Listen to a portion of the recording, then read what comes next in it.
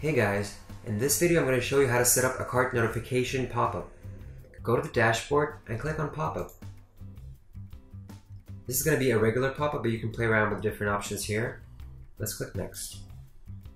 Okay, uh, you can find the template here using the search field by its name or you can categorize the pop-ups, which I'm going to do.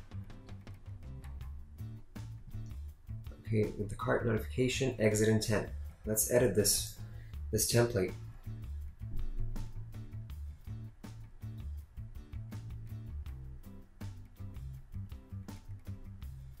In the builder, you can customize uh, the colors, um, the text, the links, the images, anything you want.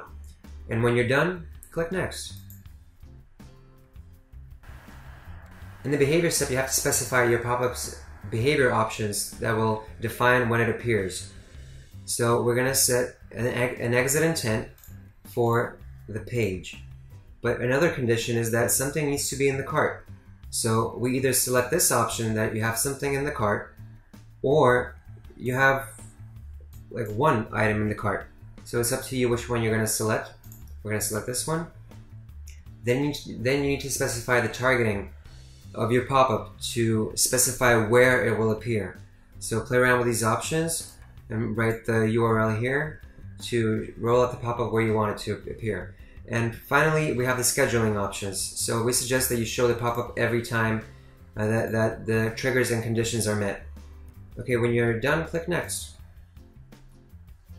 Here, make sure you, try, you click on the relevant boxes to track the parameters that you need.